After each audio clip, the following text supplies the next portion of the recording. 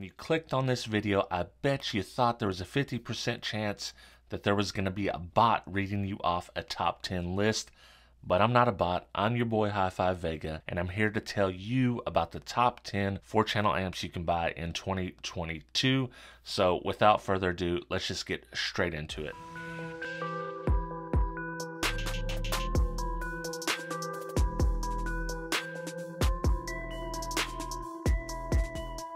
This top 10 list will be in no particular order, but I'm going to do it a little differently. The 10 through 5 spot will be 4 channel amps that are under $200, and the number 5 through number 1 spot will be amplifiers that are more than $200.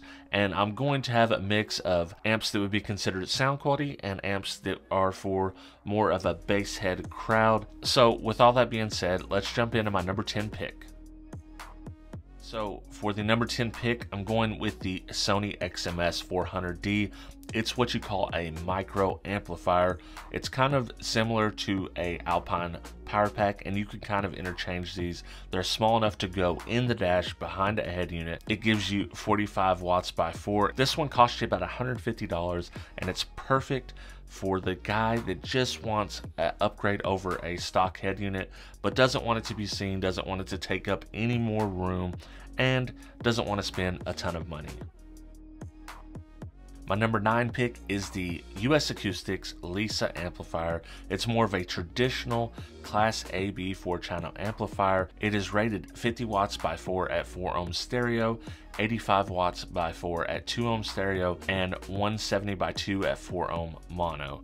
So this amp, like I said, it is a traditional amp. It's got a handsome design. I think it looks really well. I've heard many of these amps. I've seen them in a lot of SQ builds. At even World Finals, I've seen a couple of these in SQ builds. Fantastic little amps. I know that they sound good. I've heard them with my own ears. And at $150, I think if you're looking for sound quality on a budget, you need decent power. This is right in that pocket. Oh, by the way, if you need an amp kit or anything to hook all these four channel amps up, I got you covered. HiFiVega.com. Got amp kits, got big three kits, got merch. Check it out. HiFiVega.com for my number eight pick, I'm going with a much larger amp. This is going to be more of a bass head pick if you need a lot of power for your mids and highs, and it is the Skar Audio RP 150.4AB. It is a 125 watt by 4 at 4 ohm, 250 watts by 4 at 2 ohm stereo, and 500 watts by 2 at 4 ohm mono. So this thing is an absolute brute. If you need a ton of power for your front stage. This amp is probably to get the nod. It comes in at around $187. Of course, I will have affiliate links in the description below for every amp I've talked about on this list. This amp is over 20 inches. It's about 24 inches long. It is thin. It's about 8 to 9 inches wide. So you can fit it, but you need a space with quite a bit of length because it is around 24 inches. So two foot of four channel amp. I think Skar has a proven track record of providing a lot of performance for the money. So you can expect this amp to do rated plus a little bit more. If you need a lot of power for not so much money, I think that this might be the amp for you.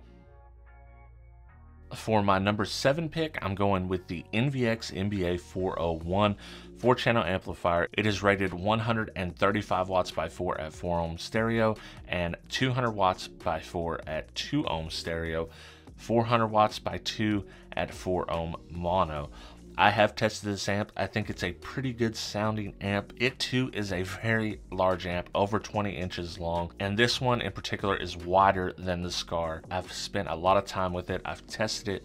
It met its rated power. I think if you want a big class AB impressive four channel monster amp, this one edges out the Skar for me because it beats it by $20 on the price, and I do like the NVX products. I think they've proven themselves over the years to give a very solid value, a quality product at a good, solid price. For my number six pick, I'm going with the Down4Sound JP8 amp. It is an absolutely beautiful amp. That blue just is killer. That design is a throwback to the old US amps. I absolutely love it. And these amps are proven performers. It's rated 90 watts by 4 at 4 ohm stereo, 120 watts by 4 at 2 ohm stereo, and these did well over 160 watts at 2 ohm stereo. To me, this is really a crossover amp. This is not only an amp that a bass head will love with the power it puts out, but it's an amp that an average guy that maybe leans more SQ would even consider. And this amp is a great way to finish off the under $200 amps. So let's switch over to the amps that are going to cost more than $200. We'll start with my number five pick now that we're into the top five of the list, I figured why not switch my shirt. You know, if you want a cool shirt like this, you can go to HiFiVega.com, check out the merch tab. Crimping ain't easy. Everybody knows it. With that being said, my number five pick is the Audio Control ACM 300.4. Now, this is the most expensive amp on the list. It is $349. That's kind of why it's at top five pick and not maybe the top one pick, even though these are in no particular order. It's a very simple amp 50 watts by 4 at 4 ohm stereo, 75 watts by 4 at 2 ohm stereo, and 150 watts by 2 at 4 ohm mono. To be compact as it is, it's very powerful. It does overrated. I've tested the ACM 300.2. They pack a lot of features in such a small, tiny little amp. I do kind of like the plugs now. At first, I wasn't a fan of the speaker in and out plugs, but I think it's kind of cool. It is a throwback, but you know, I'm kind of an old school guy. It has a soft spot in my heart. And at $350, this might be the most expensive amp on this list, but I think it's definitely worth your time.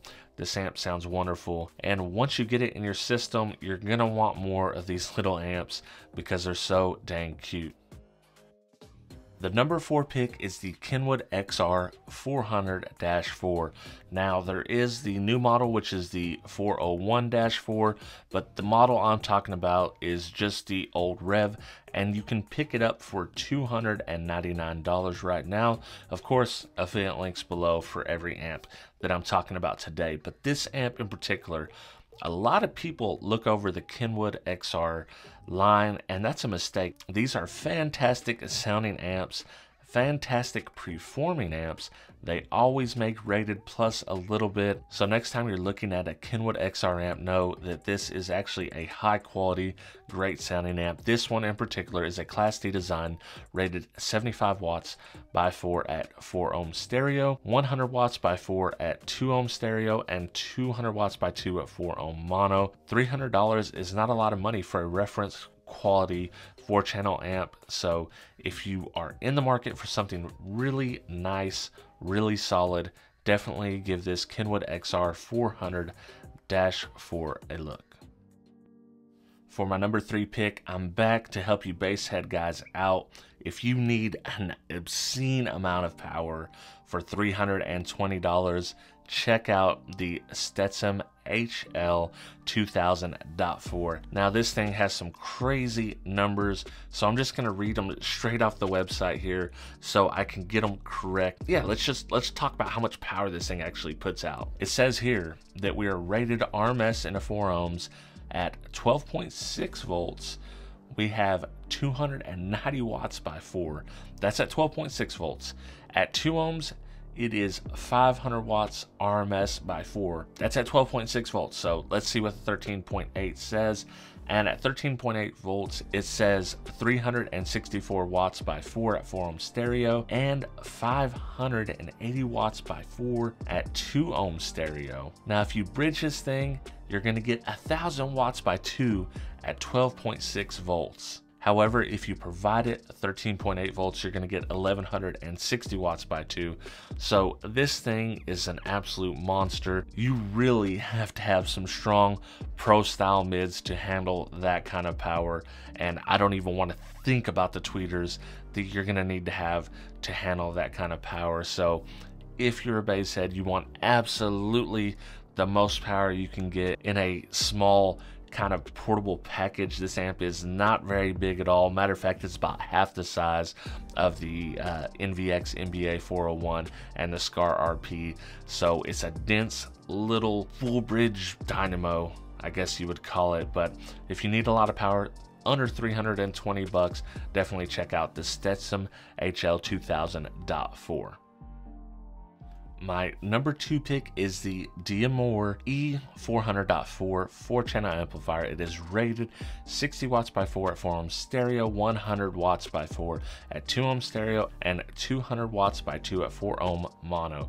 Now, this amp was everywhere at SQ World Finals. I've seen at least three or four of these really, really nice sounding amps. I think they have gathered a reputation for being a really clean sounding amp for budget, you know, $300, $299.99 to be specific. These are great amps. If you haven't heard of these amps before, hadn't checked them out, definitely click on the link below and give them a look. More importantly, give them a listen. I think it is a very solid number two pick and uh, it'll probably surprise you.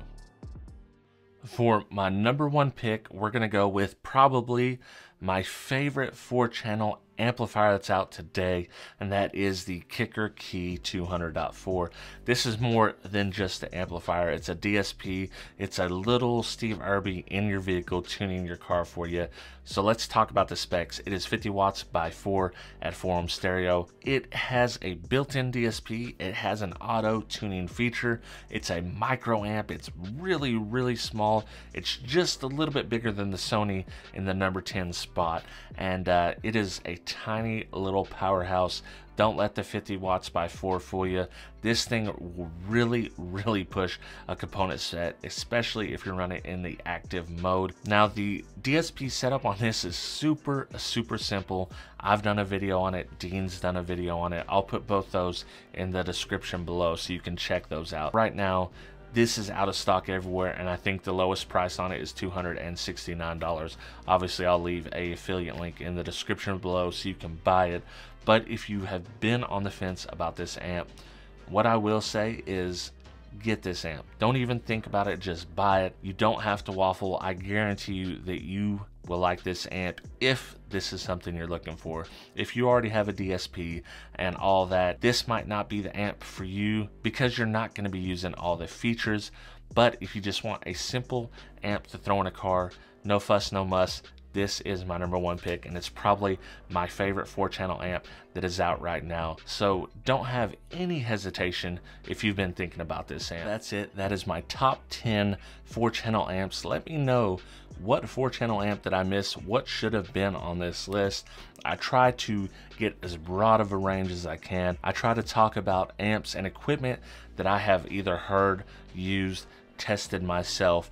So let me know what I'm missing on this list. I'm curious to see what your picks are, especially amps that are under the $200 mark because that's what a lot of people are looking for. With that being said, I hope you do enjoy this kind of content. You know, do me a favor, hit that subscribe, hit the bell. So with all that being said, I do appreciate each and every one of you, and I hope to catch you all just like Pokemon, in the very next video. Thank you to all my Patreon supporters, but I want to give a special shout out to the 6 star and more members 2001 Monolithic, G Nava, Joaquin Juarez, El Fuego Audio, Travis McClendon, Brandon Hanna, William Berg, Boxboy Audio Sound Solutions, Jesus Tires, Dennis Cromwell Jr., Scott Dilbeck, D. Stewart, Aaron Waltz, David Kozlik, Scott McCord, Matthew Toberg, Debo Bass, Corey D, Trucker 9000, Bobby Burkett, Kevin Lautner, The Cardio Guy, James Childers, and Baba.